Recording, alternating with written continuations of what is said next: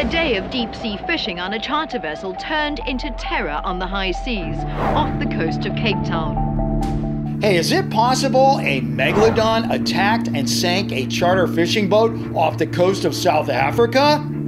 Or is this just somebody making up stories again? I've got the answer to that ocean mystery, plus answers on a couple other things that you guys are curious about. Like this picture claiming this crash photo is real, a picture that wants us to believe this palm tree really looked like that, and a photo that claims this is a real roller coaster. I've got all that, plus a new mystery video, my favorite fake of the week, and a whole lot more. So grab a snack, sit back, and get ready to test your brains. Hey guys, Bill here. We're going to be getting to that big Megalodon story in just a second, but first I want to give a big shout out to this week's sponsor, the Ridge. Today I want to show you one of my favorite Ridge products, the backpack. This one's called the Classic. Come rain or shine, this super lightweight, weather resistant bag gets the job done for me on so many levels. I can use it when I'm out in the jungle looking for that perfect shot, or just hanging out with my wife on vacation. It's got a special rip resistant nylon shell, especially strong zippers, and even has a cable part to charge your batteries on the fly. Guys, I've been using the Ridge backpacks for a while now, and I love them. And you know what? I think you will too. Just go to ridge.com slash Bill's Channel and use the code Bill's Channel for 10% off. I'm going to leave a link in the description box, so don't wait. Get clicking and check out the Ridge bags today. Okay, so now, what about this big mystery of what may be a megalodon attack on a fishing boat? It was first sent in by Ella Heff, who wrote, Hey Bill, I found this video claiming a megalodon attacked a boat. Is this video for real? Or just another BFF, as in big fat fake. Ella, when it comes to anything remotely related to megalodons, you know I'm all over it. So let's take a look. Megalodons, as you may know, are the biggest sharks to ever roam the seas. They were said to have been three times larger than great white sharks. Now, here, look at this. This is a tooth of one of these beasts, and with teeth that big, you can see how it could bring down an entire vessel. Taking a closer look, we see the video was posted by Ali Abbas and is called Megalodon Attacks Boat in South Africa. The video shows what looks like a group of friends who have chartered a fishing boat. Where are you guys? One of the men on the vessel snags a really big fish. He fights with it for over two hours, but then this happens.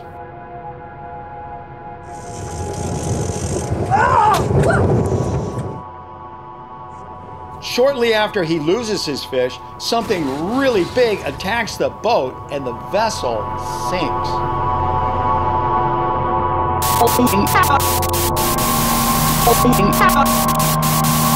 Now, according to this video, the authorities sent out a search and rescue operation. At first, they thought they were dealing with maybe a giant whale that had breached, you know, when it comes out of the water. And when it came down, it accidentally came down on this boat, broke it, and sank it.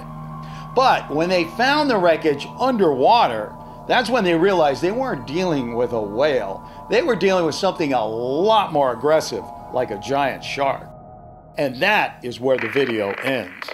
Wow, that is a pretty tragic story. I don't think anybody on that boat survived, but just the same, you know, to me, it doesn't make any sense that that's where the video ends. So I started thinking that maybe it just got cut off there. I scoured the internet looking for more pieces to this story, and as luck would have it, I found out that the Discovery Channel did a story about this whole thing for their Shark Week series.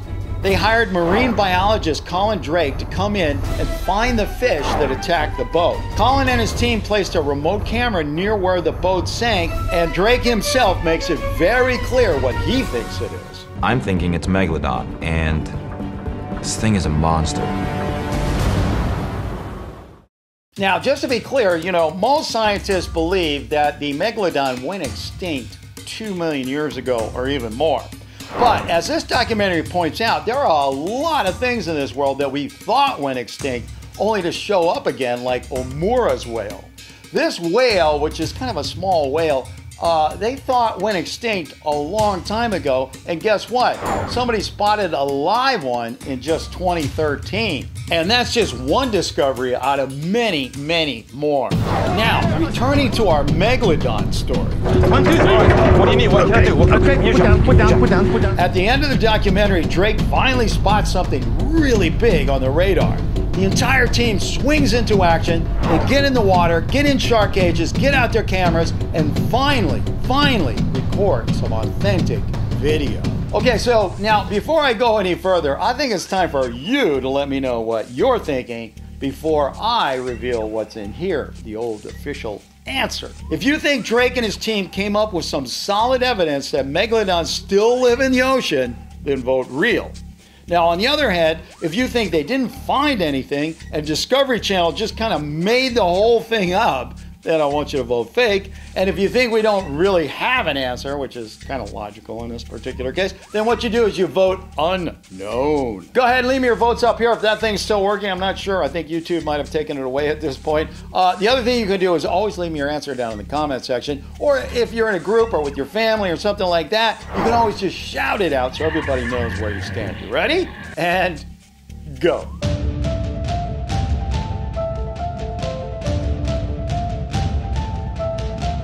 While we're waiting for everybody to make up their mind and vote, what do you say we take a look at this week's mystery video?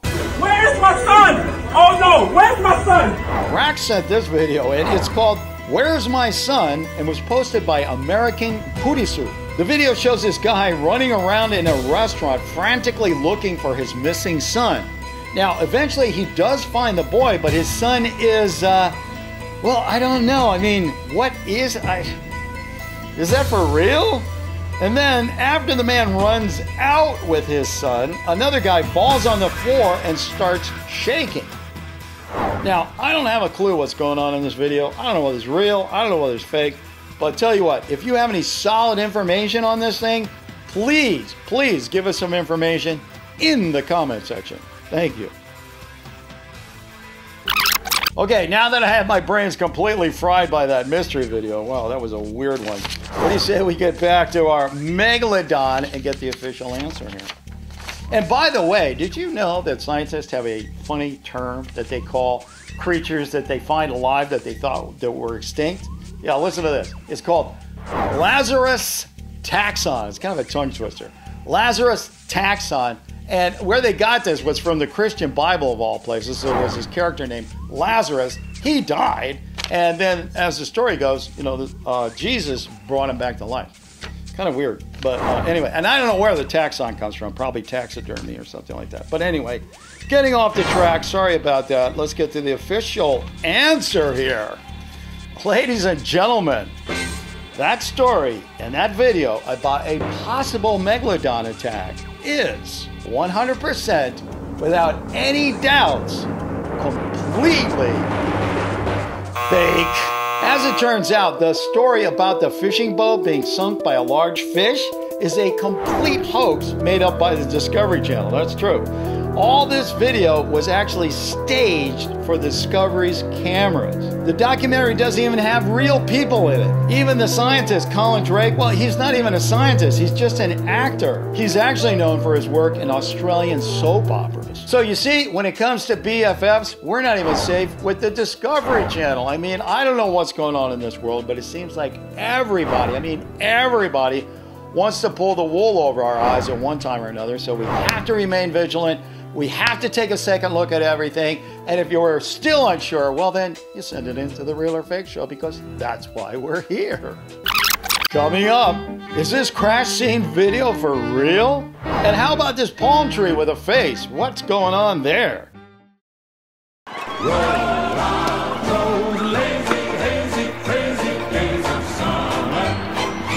2020 has certainly turned out to be one of the strangest years I have ever experienced, but I don't think it's as strange for me as it is for this guy. The picture was sent in by Wasteland Wanderer, who just wrote, Is the attached image real or a massive fake? Wasteland, you know, anybody can take a wrong turn and end up a blind alley, but how many people do you know that can like end up like suspended in the air between two buildings without a little help from Photoshop. If you're thinking digital manipulation, well, I'm right there with you because I mean, Look at where the car is. How would you even get there? Okay, guys, take a good look and let me know what you think. If you think this is a real photo and has not been altered in any way, then vote real. If, on the other hand, you think somebody photoshopped this, then just vote fake. And as usual, if you don't think we have an answer, then what you do is you vote unknown. Votes up here if possible, answers down in the comment section, or just shout it out. I am going to get out this, and we're going to find out who's right and who's wrong. Let me see what we got here. As soon as I can get this thing open. All right, here we go. Uh, ladies and gentlemen, we do have a solid answer here. Did you vote fake? Okay, well, if you did, you are wrong. It's real. Thanks to Facebook super researchers Kent Casey Martinez, Pranjal Dutta, and Clint Namo Cat Cat, we now know a driver in San Diego lost control of his car in a parking lot and got wedged between the parking structure and a children's hospital. The man in the car was rescued by firefighters and had no physical injuries, just a lot of egg on his face. Hey, did you see this picture being passed around on the internet? Explosion Boy sent this in. It claims to show a new aircraft that solves the social distancing problem for the airlines. Explosion Boy, all I can tell you is that picture is more fake than this three saddle horse, and that's pretty fake. The picture was sent in by Lewis, who just wrote, I am wondering if this palm tree I saw on the internet is real or fake. Lewis, despite the fact that this palm tree looks suspiciously like Sideshow Bob from The Simpsons, uh, you never can tell with these kind of things because it could be real. Now, if you watch this show on a regular basis, you know we are constantly talking about this weird brain phenomena known as pareidolia. That's that phenomena where your brain misperceives things, like seeing faces where none exist. All right, so here's the question Are we having a pareidolia experience with this picture? Or is somebody trying to make us think we're having a pareidolia experience? Take another look, then let me know what you think. If you think this is a real picture of a real tree, then vote real.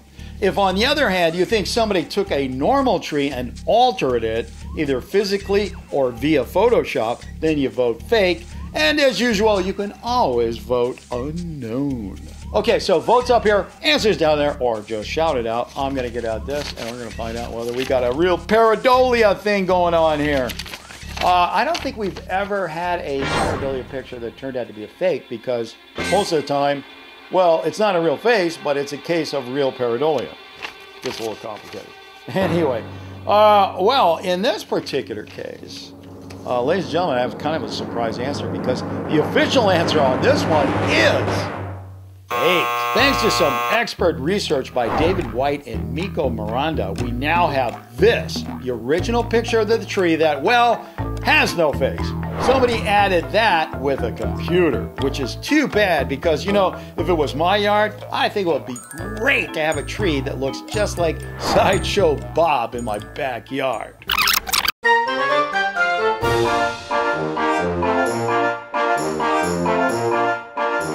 Coasters have come a long way since their beginning in 18th century Russia. Over the years, they have become faster, taller, and more extreme. But what about this roller coaster? Kat and her nephew Ethan sent this picture in and wrote, Hey Bill, is this a real roller coaster? Kate and Ethan, you know I have ridden my fair share of roller coasters. I mean, I love the adrenaline rush you get as you scream your way down the rails. But this? If this is real, you know what? I don't think I would eat for two days before I would get on this thing. Okay, guys, take a good long look and let me know what you think. If you think that is a real roller coaster with real people on it, vote real. On the other hand, if you think this is just something from a computer, then vote fake. And as usual, if you don't think we got that smoking gun answer, well, that's when you vote unknown. Okay, so votes up here if by miracle that uh, YouTube put it back. Uh, and you know what? Uh, what I've been thinking about doing is I'm just going to keep saying vote up there. So when new people come to the show and they start screaming, hey, where's the voting thing? Uh, You forgot to put it in. That's when you answer them in the comments and say, don't yell at Bill, yell at YouTube because they're the ones that took the voting away. So then maybe enough people will write in and YouTube puts it back. Now that would be good. All right, now let's get to this. Um, let's see. Real roller coaster or no? Okay, and uh huh, uh huh, uh huh, uh huh. Okay, it's going to take a little explaining because the answer is a little bit complicated. And if you did vote unknown, well, that wasn't necessary because the actual photo itself, that's fake. Thanks to a lot of help from many Facebook readers, including John Lloyd Umani, we now know that this roller coaster is real, but this particular picture is fake. It's called the Yukon Striker and it resides in Canada's Wonderland Park. Now, according to USA Today News, it is the fastest dive coaster in the world.